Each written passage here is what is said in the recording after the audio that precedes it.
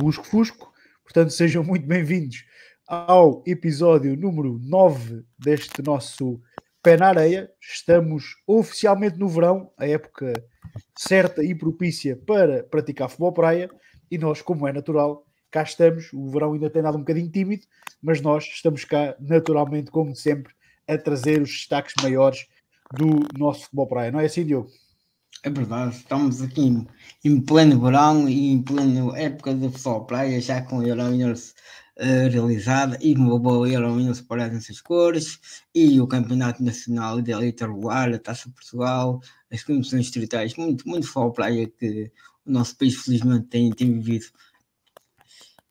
É isso mesmo, estamos em plena época do futebol praia, como estávamos a dizer, está tudo a decorrer. As uh, Eurowinners, como o Diogo disse muito bem, acabou, quer a Challenge, quer a Cup, quer a versão feminina também, uh, e está o resto está tudo a decorrer, portanto estamos em uh, época alta, verdadeiramente, não só no que diz respeito às férias, mas no que diz respeito à competição, que é muita do nosso, do nosso futebol praia. Como não poderia deixar de ser, temos mais um episódio com um convidado, até porque terminando a Eurowinners e correndo pelo menos, uh, uh, aliás, correu bem nos dois lados, mas uh, no que diz respeito à, à, Challenge, foi uma prova dominada pelas equipas portuguesas e, portanto, nada melhor do que trazermos um vencedor da Eurowinners Challenge e, portanto, temos hoje connosco o Ruben Pereira, que eu vou já trazer aqui à transmissão. Perdoem-me desde já que isto está um bocadinho mais lento por questões técnicas, mas estaremos cá na mesma e cá temos o Ruben connosco. Ruben, o treinador de Leixões, a equipa vencedora desta Eurowinners Challenge. Ruben, muito bem-vindo. Olá, boa noite a todos. E vamos ter connosco o Ruben hoje, vamos falar naturalmente de Eurowinners, vamos falar, como o Diogo também já disse, todas as competições que estão a decorrer atualmente, Campeonato de Elite, Campeonato Nacional, os campeonatos distritais, as competições de, eh, de formação, digamos assim, também uhum. estão uh, a decorrer e é com a ajuda do Ruben que hoje vamos abordar todas essas, todas essas uh, competições e tudo isso que tem, tem estado a acontecer como é habitual também. Se estão onde quer nos estejam a acompanhar, nomeadamente no Facebook ou no Instagram, há de estar por aí em algum canto a dizer que estamos em direto, ao vivo, quer que seja, e quando isso acontece, significa que podem interagir connosco. Se o fizerem no Facebook, nós conseguimos inclusive trazer os vossos comentários, as vossas questões aqui para o nosso ecrã. Se for no Instagram, nós vemos também, mas uh, aqui a tecnologia não nos permite ainda trazer essas questões propriamente para o ecrã, mas vamos estando a elas, portanto, uh, vamos estando atentos a elas, assim aqui é a tua minha palavras para o ex-primeiro-ministro. Uh, mas vamos estando, estando atentos a elas, portanto, trago umas questões à vontade para nós, para o Ruben, que nós fazemos naturalmente o máximo esforço para que elas sejam colocadas. Não vamos perder mais tempo, que não vieram aqui para me ouvir falar de, de como é que isto funciona, vieram aqui para ouvir falar de futebol praia e para ver futebol praia, vamos começar exatamente por aí, e aproveitando o facto de termos cá o Ruben connosco. Ruben, que balanço é que uh, fazes pessoalmente desta Eurowinners Challenge de 2024? Ah, positiva, como é lógico, né? Foi, foi algo que a gente não, não estava à espera, mas uh, mas queria, queria muito, desde que entramos, entramos sempre com, com, o intuito de, de, vencer, mas com o decorrer dos jogos, essa vontade e essa ambição foi aumentando e, e fomos acreditando cada vez mais e daí ter, ter acontecido também. Era isso uma das questões que queria fazer, era, já, já percebi que não, se uh, e que sempre participamos, queremos vencer os jogos todos, isso é óbvio e natural e ainda bem que assim é, mas se uh, já era uma ambição vencer Eurowinners ou foi decorrendo ao longo do tempo, e pelo que tu dizes, foi decorrendo ao longo da competição, esse objetivo começou a tornar-se mais palpável. Há algum momento que nos consigas uh, identificar quando pensaram, espera aí, se calhar isto vai dar para nós ganharmos isto? Ah, isso é, isso é natural, há sempre momentos que a gente tem entre, entre a equipa, entre, entre conversas, isso é uma coisa super natural, não só entre a equipa, como nas pessoas do exterior, iam, iam, iam tendo contacto connosco e iam falando, olha que pode dar, não sei. Mas isto é, é tudo muito subjetivo, isso interessa lá dentro e, e assim foi. Nós, o nosso acreditar foi, foi dentro da, da quadra, não, não cá fora, no que falava, no que a expectativa que criávamos, porque sempre, sempre foi uma coisa que, que focámos, malta, pode, pode dar, mas não adianta nada se, se a gente não passar já este próximo jogo. E foi jogo a jogo, a gente foi acreditando cada vez mais aí assim chegar, chegar à final e, e vencermos. Era, era o objetivo, porque não valia, não valia de nada chegarmos à final e, e não conquistar também mais uma vitória. Claro. Sem ser a final, tu, Ruben, especialmente, houve algum jogo, alguma vitória que te fez acreditar de forma diferente que de facto podiam ter capacidade para ganhar a competição? Agora já podes dizer, já não é segredo, agora já os jogadores ah, já ouviram, sim. já passou. Não, sim, isso isto a gente também temos ser realistas e ter consciência daquilo com, neste caso eu, com quem eu trabalho, a minha equipa de trabalho, os jogadores, e, e com o decorrer da, da, competição, a gente, o acreditar também foi, foi maior nesse sentido. Íamos vendo o, os resultados das equipas adversárias, ah, isso influ, influencia o nosso, o nosso psicológico também começa a trabalhar de outra forma.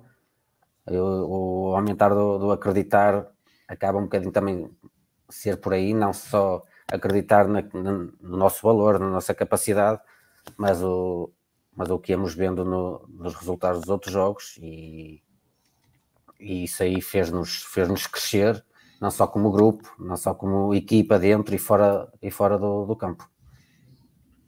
Qual foi o segredo para ganhar este Euro Winners, Ruben?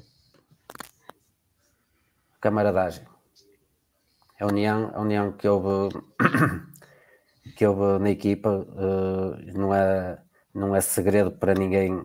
A equipa que eu, que eu lidero é uma equipa de raça, uma equipa de, de, de homens do mar, é aquele espírito aguerrido, e isso, quando existe isso aliado à boa camaradagem, à união dentro de um grupo, isso torna-se quase invencível. E foi, foi isso, o nosso segredo foi esse. Ruben, para já dar-te parabéns pela conquista, a ti e ao Leixões, que foi um marco para o clube e também para, para a nossa modalidade. E o que eu te queria perguntar era: penso que só jogaste contra uma equipa eh, não portuguesa, eh, estrangeira. Se achas que jogar a maior parte do tempo, a maior parte dos jogos contra portuguesas foi algo que facilitou esta conquista? Eu não, não creio, porque eu, nós jogarmos contra a equipa portuguesa, no, no meu caso, foi, só, só foi benéfico porque eu conhecia as equipas. Uhum. Mas como eu conhecia as equipas e como sabia como elas trabalhavam isso, elas também, também nos conheciam a nós, não é? Isso aí, ah, estarmos a falar de, das equipas portuguesas, não, não, não posso concordar nesse sentido. Independentemente de serem de outras divisões ou não, não, não, não é por aí porque eu prefiro, sinceramente, jogar contra equipas, equipas fora, também acabo por, por as conhecer por pesquisa que, que faço isso, mas que têm menos conhecimento nosso. Exatamente. Continua, continua, estás a apontar. Não, é o que eu estou a dizer, que todas as equipas portuguesas que a gente jogou conheciam teoricamente a, a forma de jogar de Leixões, conheciam os jogadores de Leixões e, e é muito mais fácil e eu também, se calhar, a vontade de defrontar uma equipa de elite e de, de defrontar certos jogadores, de, de querer defrontá-los dentro da quadra, dá, um, dá uma vontade extra e, e mesmo para anular certa, certos atletas que a gente tem, também se torna mais fácil com esse conhecimento. E não achas que oh, se defrontasse mais equipas internacionais, a experiência de, de equipa podia ser melhor? Ou seja, podíamos, podíamos evoluir mais nós portugueses e eleições enfrentar essas equipas? Sinceramente, hum, não, porque eu acho que cada vez mais uh, as equipas portuguesas estão a trabalhar melhor. Acho que os, mesmo na parte que me toca, os treinadores trabalham as equipas melhores, estão muito mais, mais bem informados, começam a ter vontade não só colocar cinco, cinco jogadores dentro da quadra, não, mas trabalhá-los da forma que querem, ter, ter rigor, ter, ter critério dentro do campo, e isso aí não se vê em muitas equipas estrangeiras, tirando as ditas grandes não é? e, e os campeonatos mais competitivos, mas outros campeonatos, muitas equipas acho que vêm aqui um bocadinho para, para participar, para saber para ter o contacto da experiência, enquanto as equipas portuguesas, independentemente, volto, volto a referir isso, que há, há equipas de divisões, de divisões secundárias a trabalhar muito bem, e isso é notório no, nos campeonatos. Eu vou ver jogos do, do campeonato nacional e, e ver-se grandes jogos do, do futebol praia, e isso aí é, é cativante. Exatamente. E agora olhando mais em termos de prova de competição, achas que esta Euro Challenge eh, a estrutura competitiva é mais correta ou até fazes alguma alteração na, na competição em si? Sinceramente, acho que é, é mais correta isto porque é uma, é uma competição tão curta, num curto espaço de tempo com tantos jogos, o desgaste é tão grande, não faz sentido estarmos a passar para, para a Euro Winners depois. Não, não, ainda por cima é, é desmerecedor para quem está na Euro Winners e o, o, vencedor das challenge passar logo para, para os quartos de final. Acho que não, não faz sentido. Temos que separar as águas e eles fizeram bem em separar desta vez. Também o, o jogador sente e ao fim, ao fim de 3, 4, 5 dias de, de jogos o desgaste é enorme. Claro.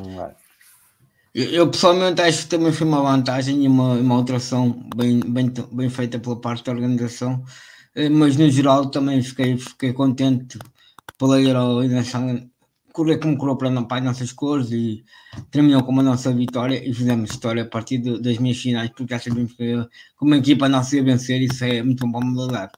Xavier, podes continuar. Sim, vamos já, antes de avançar para outras competições, só dizer que concordo e percebo aquilo que o Ruben está a dizer, porque pá, num dos, pá, sei lá, antes, antes do Covid, acho eu, por exemplo, acho que foi o Locomotivo. O Locomotivo claramente foi pela Challenge por ser o caminho mais fácil para chegar, uhum. Para chegar à, à final da, da, da, da, Cup, porque lá está, as equipas estavam na Challenge, não as desmerecendo, eram qualidade infimamente inferior ao Locomotivo, e é aquilo que o Ruben está a dizer. O Locomotivo chegou aos quartos de final quase fresquinho, por não ter jogos muito competitivos, entrou ali sossegadinho da vida deles nem me lembro honestamente se eles depois chegaram à final ou se ganharam, não consigo recordar. Perderam na meia final, se não estou Perderam, exatamente. Pronto, mas era notória a gestão deles para chegar a, a, uma fase que possivelmente teriam dificuldade em chegar se forem, fossem pelo lado da Cup, e faz todo o sentido isso que, isso que estás a dizer, Ruben e Diogo, faz todo o sentido. Uhum. Uh, a minha, uh, eu não tinha pensado nesse, nesse aspecto, porque o que eu tinha pensado, uh, e confesso que, que estranhei um pouco o formato, porque é, é um bocadinho aquilo de pá, vão jogar este ano, qualificam-se, entre aspas, não é? vão pela Challenge, depois só para o ano é que podem jogar a Cup. Não... Ou seja, o, é, é, sempre aquela história, é? os jogadores que fazem a conquista podem ou não depois ir participar naquilo que conquistaram para o ano a seguir. Mas na realidade é isso que acontece em quase todas as competições. É? Nós falamos nisto, mas na realidade quem sobe divisão, sobe divisão, quem desce divisão, desce divisão, quem ganha quem ganha títulos internos, se pensarmos no futebol, é? quem ganha o título interno para depois ir competir, vai competir na época a seguir. Portanto, não, não faz todo o sentido e de facto, esse, essa questão do desgaste para as equipas que têm que fazer jogos mais competitivos faz todo o sentido e acaba por dar algum.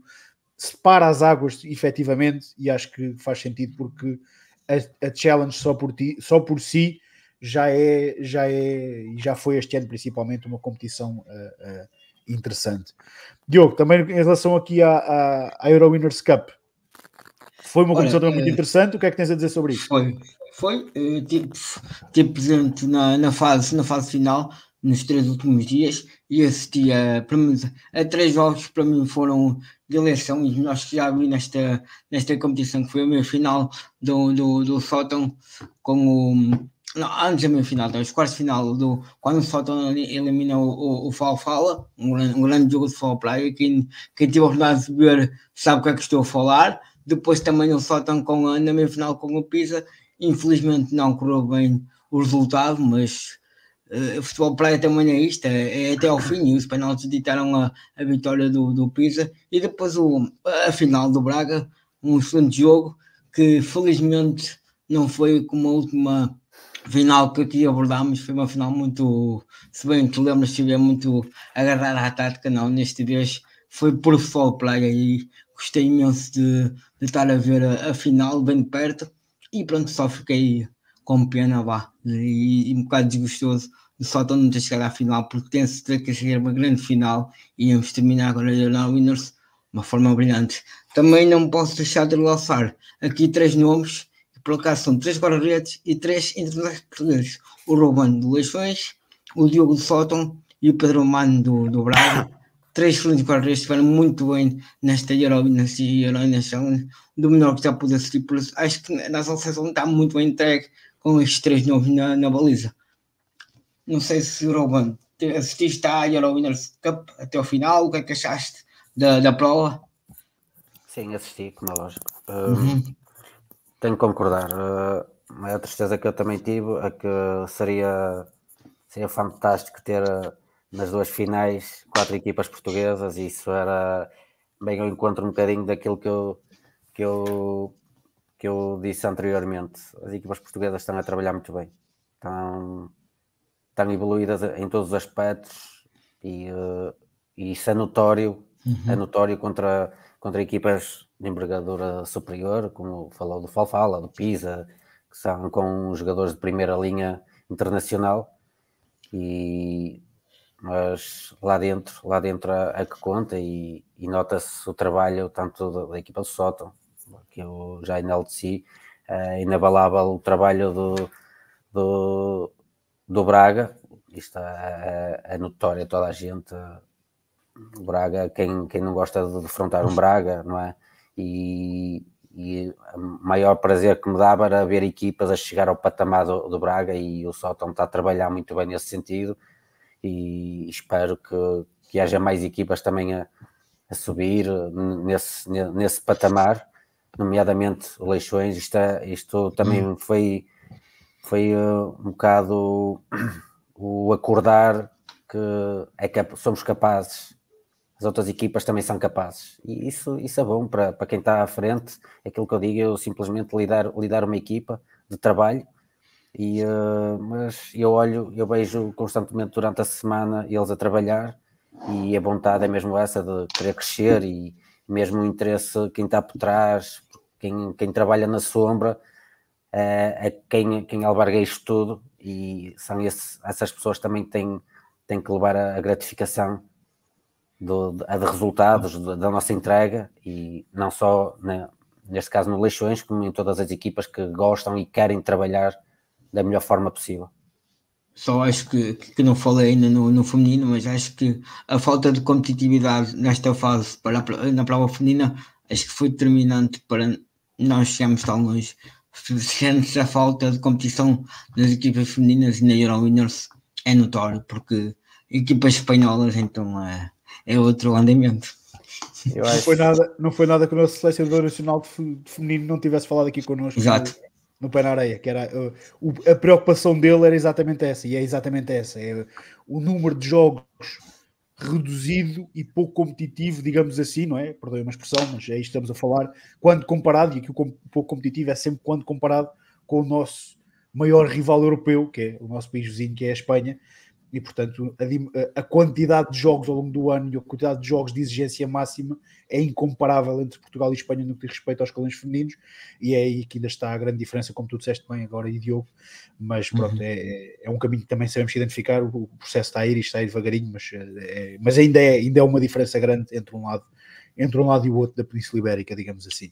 Exato fechamos a porta da Eurowinners, abrimos a janela de, das, competições, das competições internas e uh, já estão também novamente a decorrer quer campeonato de elite, quer campeonato nacional. Diogo, o que é que podemos fazer de balanço até este momento das nossas competições domésticas? Olha, o, o equilíbrio continua a ser uma nota dominante nesta, neste campeonato de elite e também nacional, mas por agora no elite. Uh, pronto, uh, o que mais destaco aqui no, no, após esta este regresso foi a subida do Braga ao segundo lugar, apesar da, da igualdade pontual com, a, com o GRAP. Depois o aproximar de Leixões ao Bela Flor, que está a luta acesa pelo, pelo quarto lugar.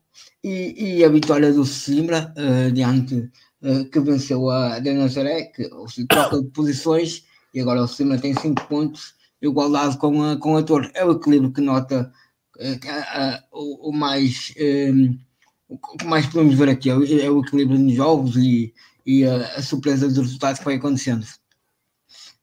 Não, eu não posso deixar de passar mais uma semana sem abordar isto e sem falar aqui com o Diogo e com, e com o Ruben. A Torre está muito abaixo daquilo que estávamos à espera para esta temporada. O que é que se passa com a Torre? Vocês que têm visto mais jogos do que eu. Ruben, o que é que, o que, é que achas? O Ruben está bom, não é? Estás mais perto, não é? Ah, está, por acaso, sou um bocado, sou um bocado suspeito esta semana de estar a falar. uh, não, é, não é falta de argumentos deles, porque eles têm, têm uma, uma equipa super equilibrada. Tem, uh, tem à frente a liderar uma pessoa que eu respeito imenso, porque desde sempre, desde que isto uhum. já vai a, basicamente há 20 e tal anos que ando nisto e sempre, sempre tive o Zé Miguel como referência de ser humano e uh, já lhe disse isso várias vezes e, e volto a dizer aqui a, se ele estiver a ouvir, um grande abraço para ele porque merece todo, todo respeito e carinho por, por tudo o que fez pelo futebol de praia e continua a fazer. Uh, agora, relativamente a, a, isso, eu posso pegar um bocado na, que a Eurowinners ou, ou a Challenge ajuda bastante no, no subir, o, no crescimento dos índices de uma equipa.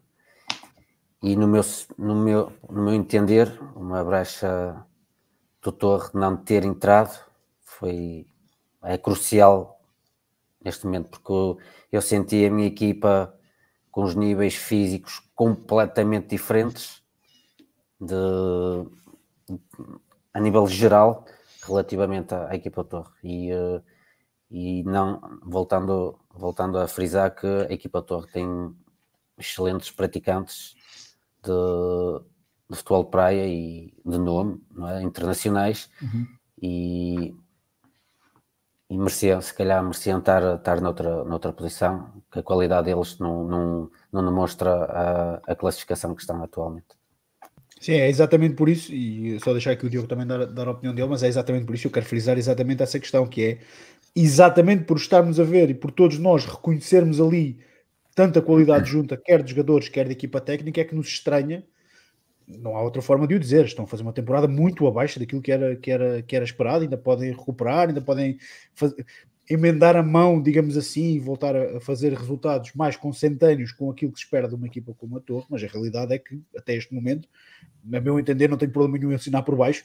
Até, até este momento, para mim, só a surpresa negativa da, da Elite é eh, a, a, a pouca capacidade eh, de conquistar pontos da, da equipa da Torre. Por outro lado, fico satisfeito também já falámos aqui N vezes, fico satisfeito por ver o Grapa fazer um, um, campeonato completamente oposto em relação aos outros campeonatos que têm feito até agora, porque falámos nisso antes de, do lançamento da temporada, por assim dizer, e, e, é engraçado estarmos a ver isso a acontecer, e portanto, se calhar foi aqui a inversão de papéis nesta temporada, e foi a inversão entre a Torre e o Grapa, mas não seria a partida nunca as duas equipas que apostaria que fizessem inversão, e nós falámos aqui disto, e quando falámos com, com é. inclusive com, com o B e com o e que o Von não era, não era de todo expectável que fosse isso que acontecesse de um lado e do outro, digamos assim. Eu acho que, eu acho que neste momento toda, as pessoas surpreendem-se surpreendem-se pelo GRAP e eu não me surpreendo. Sei o trabalho do Sandro, uhum. conheço Também. bem o trabalho do Sandro, sei a forma como ele trabalha. Disse, disse inicial, no início da época que o GRAP ia, ia estar bem no ano passado iniciaram mal porque foi uma equipa repescada para estar na elite, não teve tempo de trabalho que teve este ano e a diferença está aí.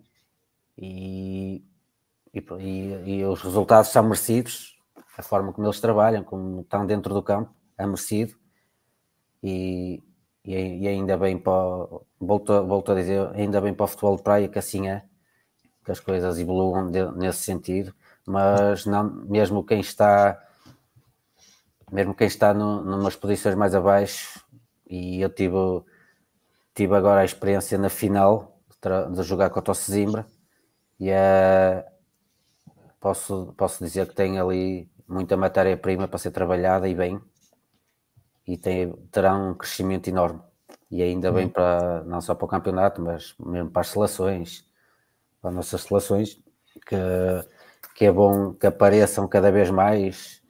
Em todas as equipas existe, existe, existe atletas com a possibilidade de lá chegar, só tenha que ser chamados para tal.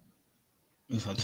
É isso mesmo. Pegando, eu, já, pegando... já, já, já te deixo falar, Diogo, deixa-me só trazer aqui okay. muito rapidamente.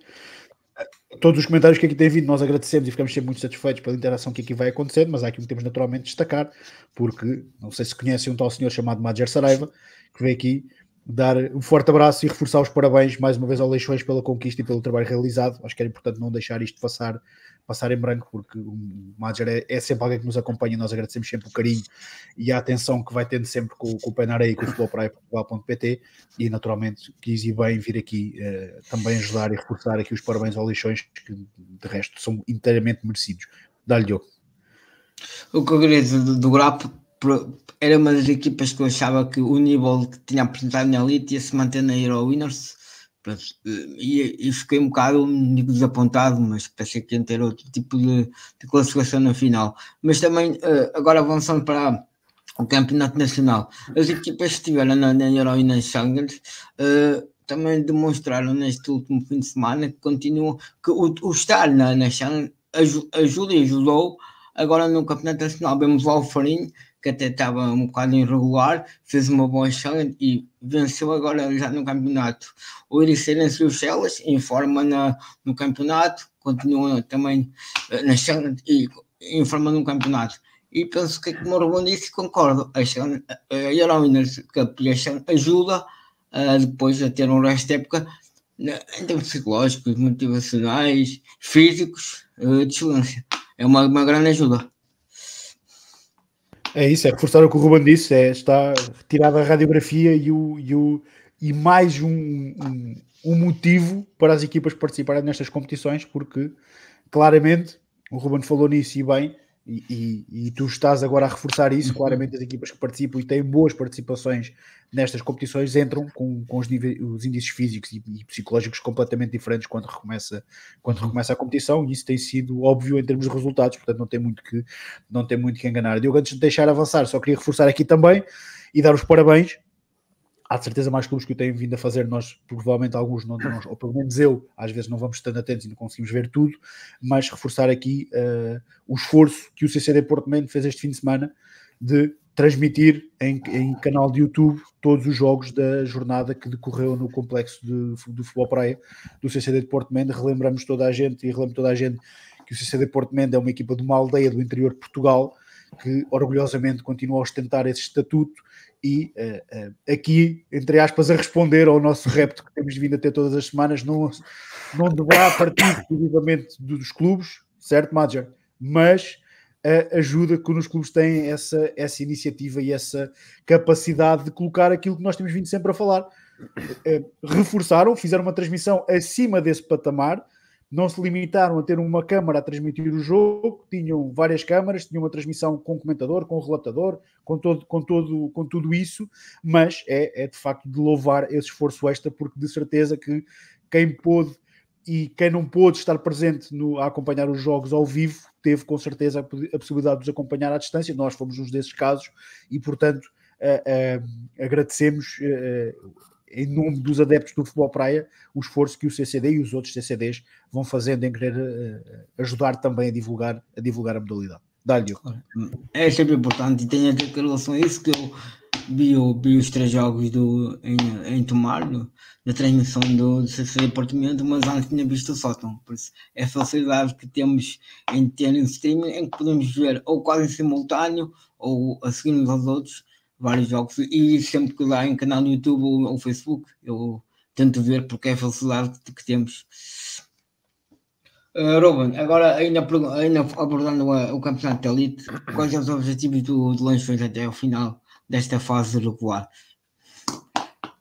O objetivo principal é a manutenção, é consolidar, consolidar cada vez mais os Leixões na, na elite e, e passo a passo a gente vai vai pensando e ambicionando outra, outra, outros patamares.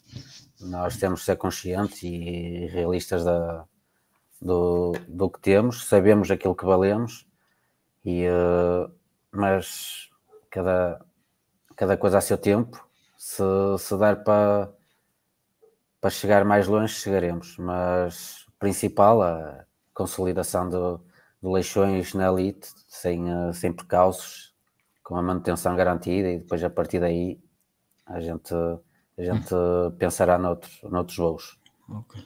Uh, Xavier, ainda, ainda falando um bocado do Campeonato Nacional, que no, no balanço, o que eu, após uh, esta jornada, destaco aqui uh, uh, o que a China venceu com a derrota do Brasil, ou seja, o, a defesa pontual já, já é diferente do segundo para o terceiro lugar, e na, na, na zona sul, o pronto, e nas elas continuam uh, a sua caminhada vai arrumar às meias-finais e depois os quatro as quatro classificações seguintes estão, estão, continuam muito emparelhadas e muito juntas e é, é este equilíbrio que também se vê no Campeonato Nacional. Perfeito, é isto é que nós queremos, é isto é que nós gostamos enquanto adeptos deste equilíbrio, desta incerteza constante de quem é que está em que lugar e de quem é que acaba por conquistar as competições ou não. Eh, para os clubes e para os treinadores uhum. e para os jogadores, às vezes isto não é tão interessante, porque se desenha um projeto e pensa-se no projeto para acontecer uma coisa e às vezes não é isso que está a acontecer, mas o que atrai nas modalidades é sempre esta. E para quem vem de fora, é uma modalidade bem praticada e isso felizmente está cada vez a acontecer com mais frequência por a grande maioria dos clubes que estão, como o Ruben também disse há pouco e bem, e eu concordo a 100%, em Portugal já se trabalha muito bem no que diz respeito ao futebol praia, já se olha para o futebol praia com pés e cabeça, já não é estes cinco são os melhorzinhos, vão para lá e logo se o que é que isto vai dar. Já não, já não, já um cuidado técnico, um cuidado tático completamente diferente, e isso, isso acaba por, por elevar a modalidade em Portugal. Já, já éramos e sempre fomos, por questões inerentes à nossa qualidade, dos melhores do mundo, mas cada vez mais estamos a consolidar esse lugar porque deixa de ser um lugar exclusivo às equipas do topo e passa, como o Ruben disse muito bem, a ser. Uh, a regra de uma equipa portuguesa ser uma equipa que trabalha bem, ser uma equipa que sabe competir, que sabe competir bem. Isso é muito, muito interessante e a, a juntar a isso esta incerteza que isso depois traz, para nós, enquanto adeptos que gostamos de seguir a modalidade, é naturalmente muito, muito interessante. E depois há outra coisa mais, que é isso que vamos falar agora, que é não se esgota no campeonato de elite e no campeonato nacional as competições domésticas eh, portuguesas, não é, Diogo? Temos mais coisas a acontecer. É verdade, tivemos agora a preliminatória da Taça de Portugal, três jogos, em que as equipas que avançaram para a fase seguinte são o, o grupo de pescadores da Costa de Caparica, que está de volta ao Sol de Praia, uh, o grupo desportivo de Ilha e o Alvorninha, três equipas que disputaram a preliminatória e que seguem em frente então na Taça de Portugal, deixando, deixando fora o Bobista, o Virago e o grupo desportivo de Ronda. Também já temos campeonatos distritais a acontecer, não é? Sim, também temos o andamento das competições distritais de Leiria, de Setúbal, de Aveiro, futuramente teremos também de Coimbra, Vila Real, portanto há muito futebol de praia distrital também a acontecer, pelo menos nestes mais dois, três meses, até temos a Taça Nacional, onde iremos conhecer as equipas que sobem à segunda Divisão Nacional, este fim de semana também tivemos a bem conhecida Major Cup, o torneio internacional de formação mais conhecido do mundo, digamos assim, ou pelo menos um dos, em que tivemos uma, a, a prova feminina que foi uh, vitoriosa para a equipa de Sand Games, e sub-16 ganhou a Naval 1993 e o Sub-14 ganhou a equipa de Sótão, que tem feito o Sótão tem feito um, um tamanho brilhante de trabalho na formação e nesta Major Cup tem feito história e este ano voltou a vencer. É isso. É, parabéns às, até aqui na formação, porque é cada vez mais importante também.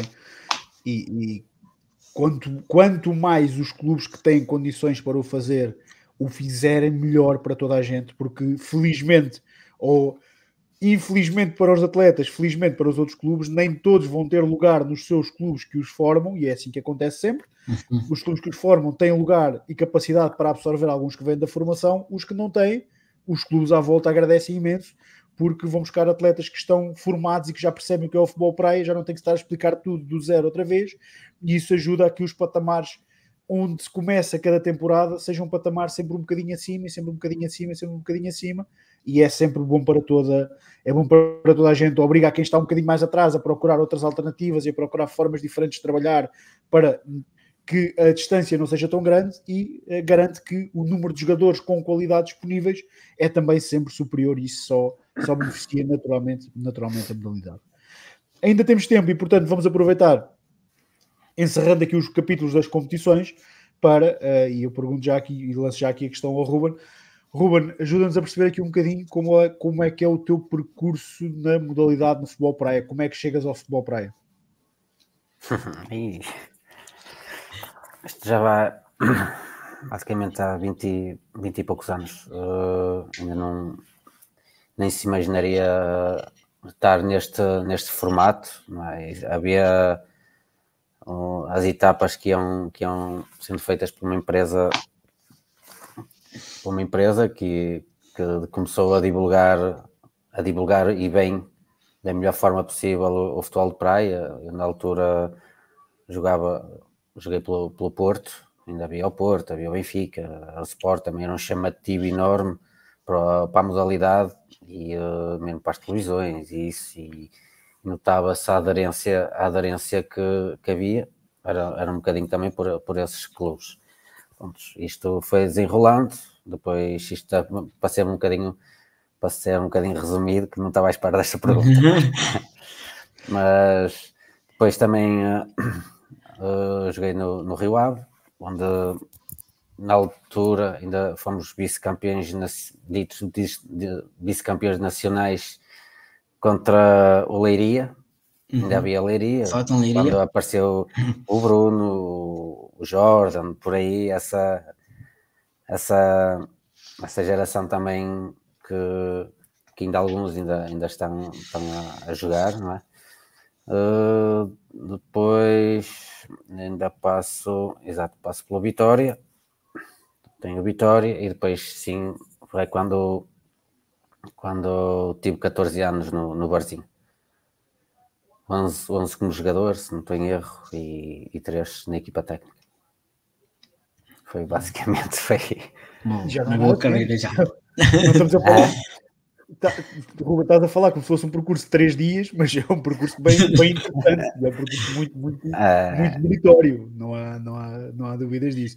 E é um percurso de quem gosta, de quem gosta, pessoalmente. É isso mesmo, é isso mesmo. É. E uh, disseste que integraste a equipa técnica, isso já se, foi algo que tu sempre foste pensando e que faria sentido.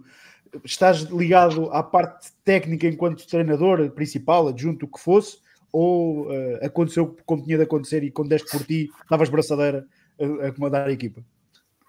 Não, eu quando, quando, deixei, quando deixei de jogar, no, no, meu último ano, isto porque tudo tem um fim, tem um princípio, meio e fim. E quando eu comecei a ver os mais novos a correr e nós a acompanhar só com os olhos, não, não dá, acabou. Não, não é foi um bocadinho por, por isso também. Uma pessoa tem, tem temos que ser uh, racionais nesse sentido e saber quando tem que acabar e acabamos, acabamos bem, sem, eh, sem andar aí a, entre aspas, a, a arrastar. E uh, nessa transição, o, o treinador, na altura, o treinador do Barzinho, o Sérgio, convidou-me, fez-me fez um convite para eu a ver se eu queria ajudá-lo. E assim foi, e uh, foi, uma, foi na altura, subimos à elite, fomos campeões contra o, o Belenense, não estou em erro, acho que sim, e, uh, e pronto, e uh, foi ali a alavanca de, de eu ficar também a trabalhar na equipa técnica e a partir daí, no ano a seguir, ele, por razões profissionais, não, não pôde continuar e, uh, e pronto, e fiquei eu. Fiquei eu e, uh, e até, até o momento, ali há também a outra modalidade onde, onde também sou treinador e uh, lá está o gosto, o gosto acima de tudo, é, isso, é isto que, que, no, que nos faz, faz e cativa, faz mexer esta, esta vontade de querer estar lá e até de passar mesmo para aquilo, toda esta vivência de tantos anos para, para os mais novos e, e pronto, e, uh, e foi assim que até estar os dois anos, dois, três anos no Barzinho, depois passei a convite, já, já era um convite já, já feito que num, noutros anos não, não vim e este ano aceitei o convite do, do presidente do, do Leixões de ingressar nem que estar no Leixões. E aqui estou Presidente, senhor Presidente, não está a correr nada mal. Boa, boa aposta. boa aposta. Já temos um troféuzinho porreiro na vitrine. Sim, senhor. Portanto, com uma boa, e com uma boa equipa, diz já. Sim, sim, sim. Uma boa equipa, uma boa equipa. É, não, é, não é fácil na. Isto já, dá, já foi falado anteriormente, mas cá em cima não, também não é fácil a, a criação de, de, uma equipa, porque o nicho de jogadores centro-sul é muito maior do que no norte. E depois mesmo também uh, no in, inícios da época não é tão favorável a nível de tempo e logísticos para, para, para se treinar, para se jogar cá e para quem tem que, criar uma equipa basicamente de, de base uh, não, não foi fácil. Felizmente fomos conseguimos consegui ter, ter, ter a aceitação de, de quase todos os jogadores que, que tinha escolhido e uh, fiquei feliz por isso. Uh, ali um misto de juventude, mas com mais experiência, por ser mais fácil o perceber o jogo e ensinamento é, é mais fácil para ter num curto espaço de, de tempo de pré-época. Não é fácil estar a enraizar critérios e metodologias de, de jogo e de treino que assim num, num curto espaço de tempo, como, como tinha dito. Por isso é que isso eu defendo-nos a 100%. Não há treinadores como os treinadores portugueses, não venham cá com conversas, porque nós é, pegamos no, no o que não há, inventamos. Se não dá pela esquerda, vai pela direita. Se não se tem areia, treina-se na relva. Se não se tem relva, treina-se a correr. E nós lá damos as voltinhas todas. E por isso é que, felizmente, em grande parte das modalidades, nós somos sempre, nós treinadores portugueses, somos sempre destaque, porque, porque é isso. Temos uma capacidade, o típico desenrascanço do português, aqui funciona às mil e uma maravilhas, por isso é que nós conseguimos ganhar nos mais diversos cenários de forma consistente é, há uma aposta muito grande em, em, na formação dos próprios treinadores, seja de modalidade for, uns por iniciativa das federações, outros por autodidatas, outros por entidades privadas, o que quer que seja, mas há de facto algo que nos separa do, dos, das, da grande maioria dos outros países e depois há esta capacidade que o português tem de não vai de uma maneira, vai de outra, está a chuva, treina-se dentro, está dentro não sei quantos, não há, não há duas balizas, inventa-se meia, não há campo inteiro, joga-se na diagonal, não há não sei o quê e a coisa, e a coisa vai, e acho que é, é um mérito que vai que é reconhecido interiormente, mas é a nossa realidade e nós estamos habituados a ela, e portanto, para nós não é nada de estranho estas necessidades todas esta capacidade de adaptação, mas quando se olha de fora para os treinadores portugueses, olha-se sempre com, com uma forma diferente uh, e com um respeito diferente, exatamente por causa disso, por isso é que nós cada vez mais, nomeadamente no desrespeito ao futebol, cada vez mais vemos treinadores portugueses espalhados por todo o lado e, vou, e, é como os jogadores, não é? Somos um país tão pequeno, pela lógica, isso não deveria acontecer com tanta frequência e com tanta quantidade. Mas a verdade é que acontece e, e, e por algum motivo será, e não é só com os nossos lindos olhos, porque por aí também não nos chafamos muito bem. Portanto, Diogo, não sei se ias dizer alguma coisa eu interrompi. Ia só perguntar ao Ruben, falaste agora na parte dos jogadores da Norte e tudo, falava mais em termos de estrutura. Achas possível aqui no Norte temos uma competição tipo a Euro Winners ou algo mesmo nacional de uma envergadura maior do que tinha acontecido só as etapas? Claro que sim, mas isso, isso depende também da, das autarquias, não é? Das autarquias, mostrar disponibilidade e vontade para isso. É, eu, eu, muitas vezes em conversa eu, eu gostava, e, e digo, eu gostava que várias autarquias fossem passar uns dias a Nazaré a ver, ver a Eurowinners, por exemplo.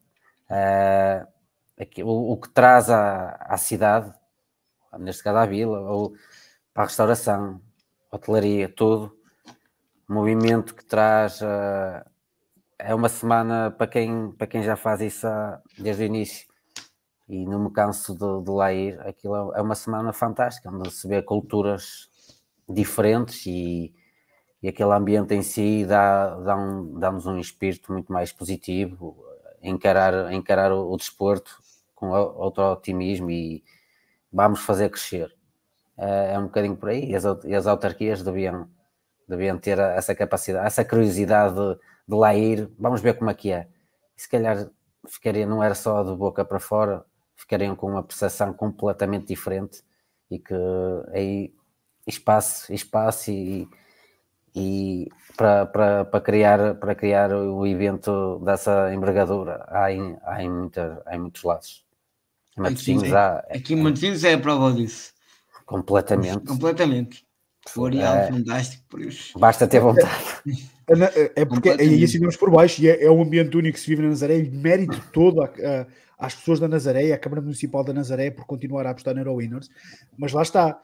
Se retirarmos a dimensão do areal da equação, a Nazaré tem pouca coisa que fizesse sentido a Eurowinners ser lá. Está Sim. longe uhum. dos aeroportos, a, a disponibilidade hoteleira não, é porque se vai pelos alojamentos locais e pelos Airbnbs e, pelos, pelo, e, e, pelas casas e não sei o quê, porque a disponibilidade hoteleira propriamente dita não é assim tão grande como isso. A rede de transportes é mais ou menos, eh, não é das piores, mas também não, não é assim nada incrível quando comparado lá está com zonas maiores como Matosinhos, como toda essa zona por aí. Uh, e portanto é uma aposta claramente ganha que identifica a Nazaré com, com uh, o futebol praia, até porque, como é óbvio, tem o Soto e tem todo o histórico envolvido no, no, futebol praia, mas é como o Ruben está a dizer e muito bem, não é? Se as outras autarquias olha, abrissem um bocadinho mais os olhos, digamos assim, e fosse a Nazaré e concorda 100%, quem está na Nazaré numa semana de Eurowinners é impossível não passar a, olhar para o futebol praia com, com, com olhos completamente diferentes, porque é isso os jogadores encontram-se, os treinadores encontram-se, estão nas planadas, estão à conversa, vão ver jogos, deixam de ver jogos, as pessoas passam, é as famílias, é as pessoas que vão desfrutar da praia e aproveitam para ir espreitando para um campinho o que é que está a acontecer. É, é uma diversidade gigante de cultura, de, de, de entusiasmo por uma modalidade. É, é lá está, é um, perdoem o abuso, mas é aquilo que nós vemos já acontecer quando, e com as devidas distâncias, mas como vemos agora com o campeonato europeu, reduzindo aquelas distâncias, claro. ou seja, esta mistura toda de culturas e de amor por uma modalidade que traz infinitamente mais coisas positivas do que coisas negativas e, portanto, são, é claramente uma aposta ganha. Nazaré tem sido muito inteligente nesse aspecto de continuar a forçar e a não querer deixar fugir a, a Eurowinners da, da Nazaré, mas é como digo, se pegarmos nas estruturas enquanto estruturas, retirando a dimensão do areal da equação, também há noutros lados, mas aí a Nazaré tem dos melhores nesse aspecto, não é? Uh, ou seja, é a, única, é a única coisa, a meu ver, que em termos de infraestruturas a Nazaré não perde absolutamente para ninguém, é na dimensão do areal. Porque depois do resto, tudo o que lá está é consegue-se fazer relativamente, havendo um areal daquelas dimensões, e existem vários em Portugal, aliás, se retirarmos o Algarve da equação, praticamente existe em todo o lado, e mesmo o Algarve, porque o Algarve é ao contrário, a exceção será ali por Timão, o resto, os areais são todos muito mais pequenos, e seria difícil fazer uma coisa deste género, mas tudo o que é os areais do centro até, até Espanha, não é? até Vigo, os areais de Portugal há sempre mais 5 km, menos 10 km, há areais daquela dimensão, e depois com tudo o resto que, com tudo o resto que existe, e portanto é, concordo a 100%. O pessoal da Câmara Municipal da Nazaré, se cá não gosta tanto que nós estejamos aqui a, a alertar as outras, as outras câmaras que lá respeitar, mas a realidade é que sim, norte, por tudo que é o norte do, do país, também merece ter, e o Diogo lançou muito bem esta pergunta, e o Ruben também respondeu muito bem, merece ter uh, uh, uma competição de uma, de uma dimensão do Eurowinners para também ajudar o Ruben e os Leixões e todos os outros clubes à volta a Sim, terem uma capacidade maior de atrair jogadores para, para a competição, porque é completamente diferente vivenciar aquilo ao vivo, ou vivenciar porque ouviu dizer, ou porque acompanhou no streaming durante um bocadinho, ou porque viu no canal 11 a final, ou o que quer que seja, é completamente diferente. Nós sabemos que sim. Nós sabemos que sim. E acima, e acima de tudo, só comparando, como falaste do euro, isso, estamos a falar de um, um ambiente saudável, um ambiente de fair play fantástico onde toda a gente se dá bem, lá dentro é uma coisa, no, nos campos, é, mas cá fora é, é, surreal, é só mesmo visto a quantidade de gente que se dá, mesmo não se conhecendo, e, mas fala-se porque sabem que é do, é do desporto, é do, é do, do futebol de praia e o contacto que existe é, é muito bom e, e quem se não for feito no outro lado, se continuar a ser na, na Nazaré, convida toda a gente, convida toda a gente que passe lá um ou dois dias dessa semana que vai ficar, vai ficar bem contente com aquilo que vê. Sim, sim, sim. E é coisas super interessantes, é isso, estava-me a lembrar agora de um dos últimos anos que fui, que fui ver, que era exatamente isso, era de repente estão três ou quatro jogadores e pegam numa mesa ou pegam numa rede mais pequena e fazem ali um futebol e fazem uma coisa assim, de repente estamos a dar por isso. Lembro perfeitamente, tínhamos já uma das vezes que eu fui ver, estava do género o Chirizi a jogar com o Jordan contra pá, contra o Ozu e não sei quem, de repente do nada estão ali. Agora, e bem, estavam há meia hora quase a matarem-se dentro de campo, e bem, o matar aqui é o positivo, né? a dar tudo e mais uma coisa para conseguir ganhar o jogo, e agora estão aqui a fazer uma peladinha aqui de, de, de, de, de beach volley aqui do nada, portanto, é isso, é um ambiente, é um ambiente único. É um e não é só isso, e, e nota-se muito o Nazaré com e sem Winners, por acaso já tive muitas situações e a diferença é, é brutal, aliás, se a Minas um dia aceita Nazaré, vai se sentir muito nesta fase, mesmo sendo verão, e a praia que é, vai se sentir muito, mas vamos vai, vai, a, Nazaré, a Nazaré, para todos os efeitos, é uma praia, eh, eh, é uma zona de praia. Perdão o presidente da Câmara se eu tiver aqui a cometer algum erro, mas é uma zona de praia essencialmente de verão puro e de portugueses não é uma uhum. zona em que venham ingleses, lá está por uma questão, não tem um aeroporto perto, não tem nada disso, portanto não vem, não quer dizer que não venham alguns, mas a grande maioria das pessoas que vão a Nazaré, frequentam a Nazaré, são portugueses de Portugal, ou os imigrantes que estão cá e aproveitam para ir à Nazaré, porque é aqui na zona centro e é uma praia com algum reconhecimento, mas nesta fase do ano, concordo contigo, Diogo, nesta fase do ano, não havendo Eurowinners, epá, é, é, é, entre aspas, é, é uma cidade fantasma quase, se comparando com a, a dimensão e o movimento que tem Eurowinners. Não é nunca parado porque a Nazaré nunca é parada, mas é, não tem nada a ver uma coisa com outra, claramente. claramente, é isso. É isso, meus amigos. Com isto tudo e com esta nossa conversa, quase eh, apanhámos o Diogo, o Diogo, apanhámos o Ruben de, de distração na curva. Fizemos uma pergunta que ele não estava à espera e, entretanto, fomos aqui soltando o novelo e eh, tivemos aqui quase meia hora de, de, de, conversa que não estava de facto no planeamento, mas ainda bem, porque são estas também são interessantes. Já deixámos o Ruben respirar um bocadinho, portanto, Ruben agora faça ao contrário. Estamos, estamos a chegar à parte final do nosso, do nosso pé na areia, do nosso, do nosso episódio número 9, e uh, deixo-te aqui o nosso pequeno palco para uh, deixares a mensagem que quiseres, as pedidas que quiseres, sente perfeitamente à vontade. Não, desde já agradecer o, o convite, uh, agradecer o convite e, e, dar os parabéns por, uh, pelo vosso trabalho, pela divulgação que fazem constante do, do futebol praia, desta modalidade que a gente tanto gosta e faz por gosto, nada mais. Uh, relativamente ao, ao, ao prémio, uh, é um orgulho, um orgulho que na nossa conquista, um orgulho e que os meus jogadores os jogadores do, do Leixões merecem, merecem por, por todo, pelo todo o trabalho que, que, fazem. E eles é que estão lá dentro, e eles é que, é que andam lá a correr. E, e este prémio é inteira merecido, inteiramente merecido para eles. É Perfeito. Diogo. Para já, eh, também agradecer ao Ruben ter aceito este convite mais uma vez e dar-lhe novamente parabéns pela conquista e espero continuar a ver as simulações com a, com a forma que está. É mais um clube que eu, que eu, eu gosto todos, não quero aqui particularizar ninguém, mas sendo o clube perto e bem perto, tenho outro olho no Leixões também tenho lá amigos, por isso. Uh, é, é, mas é isso, é, fiquei contente com a, com a vossa prestação, com o título e, isso, e também pela modalidade em si. Pronto, sabia dizer que não podes fugir de pé na areia, como já sabes, já, já, já nos avisaram que não podes fugir de panaria. Não, não. E é não, isso. Está mais ou menos do outro lado. Há estar mais do outro lado. Ficaram preocupados por isso. É bom sinal. É sinal que nos veem e gostam do nosso trabalho. E também agradecer a, a todos por, por nos acompanharem, por quererem mais episódios mais, e, e este trabalho que tem sido feito. Uh, todos muito obrigado. Pronto, é isso, saber. É contigo. É isso. Ruben, mais uma vez, muito, muito obrigado por teres aceito o convite. O Diogo também já o reforçou, eu reforço. Uh, está, entre aspas, e bem, uh, para nós a ser cada vez mais fácil. Já começa a ser difícil é a quantidade, mas começa a ser fácil termos pessoas de destaque para trazer ao nosso, ao nosso, ao nosso podcast. Agradecemos imenso, damos e reforçamos aqui os nossos parabéns ao Leixões pela conquista. É sempre com um gosto redobrado que nós vemos equipas portuguesas a conquistarem coisas e, e, e de, confirmando aquilo que falávamos há bocadinho, quando foge daquelas a que nós estamos habituados já a ver a ganhar troféus, mais satisfeitos ficamos ainda, porque é sinal uhum. de que uh, o trabalho é feito e é muito bem feito.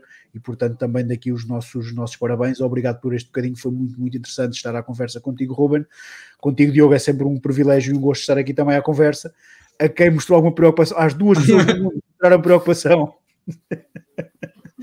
de eu poder não continuar no pé na areia pelos motivos de passar a ir para outro, para outro, para outro local treinar a modalidade onde eu, onde eu sou, tenho uh, uh, o histórico maior e o, e o empenho maior que é o, que é o futsal, mas não, não, será, não será todo impeditivo se não for às 9 é às 10, se não for às 10 é às 11, se não for à segunda é à terça, mas garantidamente que não será isso que irá impedir que continuemos aqui uh, frequentemente a trazer o futebol praia, o futebol praia português uh, à antena, digamos assim, não só em áudio no podcast, como também no videocast, digamos assim, aqui nas redes sociais, para que todos possam acompanhar, para que todos possam interagir. A única coisa que eu reforço e volto aqui a pedir é que, onde quer que nos acompanhem, subscrevam uh, o podcast e deem as classificações que entenderem dar, divulguem com os vossos amigos, porque isso, e como já não é novidade para ninguém, é assim que funcionam as redes sociais, é assim que funcionam as plataformas de podcast. Quanto mais gente ouvir, quanto mais gente divulgar, quanto mais gente. Uh, eh, um, ehm, der lá estrelinhas ou o que quer que seja, dependendo do sítio onde ouvem, mais isso é propagado e mais do que darem destaque a nós, ajudam a dar destaque ao Ruben e aos outros Rubens todos que uh, simpaticamente continuam a aceitar o nosso convite para, para estar aqui e ajudar, uh, no fundo, uh, ao nosso grande objetivo que é dar um destaque maior ao futebol para em Portugal. Está terminado o episódio número 9. Muito, muito obrigado a todos quando estiveram desse lado, que foram interagindo connosco e que nos foram acompanhando estaremos naturalmente em breve numa próxima edição de Pé na Areia. Muito obrigado e uma boa noite.